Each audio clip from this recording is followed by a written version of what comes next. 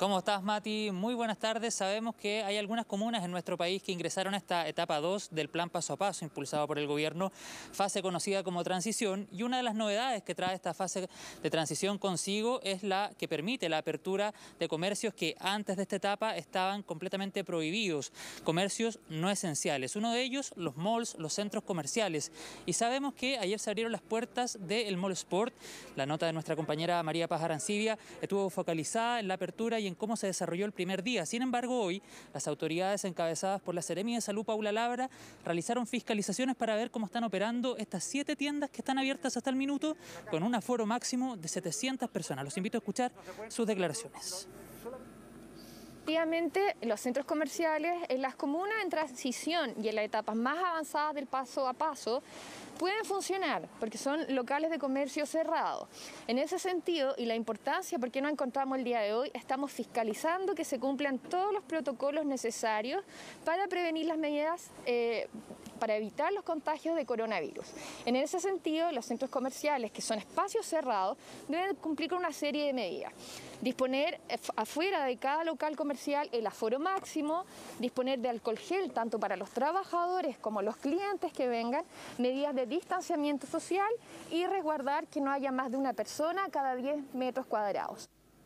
Importante tener claro que las tiendas o centros comerciales que estén abiertos en comunas en transición solo pueden operar con trabajadores que vivan en una comuna que también está en transición. Un trabajador que vive en una comuna que está en cuarentena no puede ser obligado por su empleador para ir a trabajar a una comuna en transición porque debe permanecer en cuarentena de acuerdo al lugar de su residencia. Conversamos también esta mañana con el alcalde de Las Condes, Joaquín Lavín. De hecho, él nos contaba en esta pauta de noticias que el día de ayer se fiscalizó una tienda del retail y encontraron 21 trabajadores que vivían en una comuna en cuarentena escondidos en una bodega. Son claramente las actitudes que debemos rechazar en medio de esta pandemia. Escuchemos al alcalde Lavín.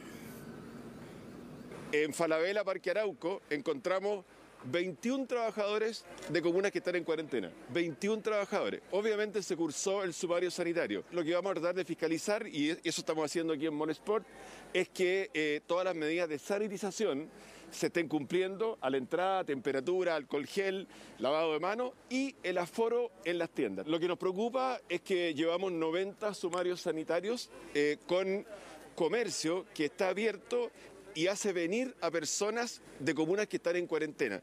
Eso no puede ser. Lo que queremos y lo que la norma dice muy claramente, si yo abro, tengo que atender con personas que sean de las siete comunas desconfinadas.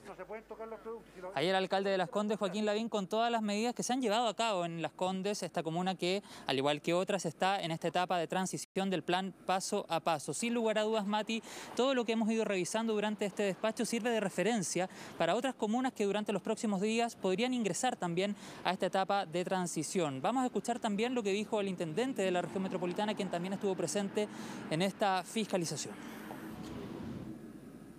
Ya comienza a abrir eh, poco a poco eh, el, comercio no esencial, ya lo ha señalado el alcalde Lavín, aquí en el Mall del Deporte, el Mall Sport, hay 7 de 90 eh, locales abiertos, los que no están abiertos no lo están porque sus trabajadores probablemente no viven en comunas que están en etapa de transición, viven en comunas en cuarentena y por lo tanto no pueden ellos salir de la comuna en cuarentena a una comuna en transición.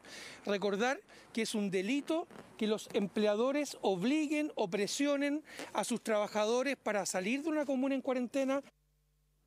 Bueno, ahí el intendente Felipe Guevara reforzando la idea que nosotros les comentábamos recién respecto a que un trabajador que vive en una comuna en cuarentena no puede ser obligado a ir a trabajar a una comuna que está en transición. La idea es que una persona que está en una comuna en cuarentena no vaya a una comuna en transición porque claramente se podría convertir en un foco de contagio. Así que vamos a estar muy atentos a este tema. Nosotros en el Noticiero Central vamos a llevar un informe porque también estuvimos hoy en comunas en cuarentena y nos encontramos con comercio no esencial que estaba abierto. Así que todos esos casos los vamos a revisar esta noche en la edición central de Chilevisión Noticias y CNN Chile, Mati. Así es. Muchísimas gracias, José. Buenas tardes.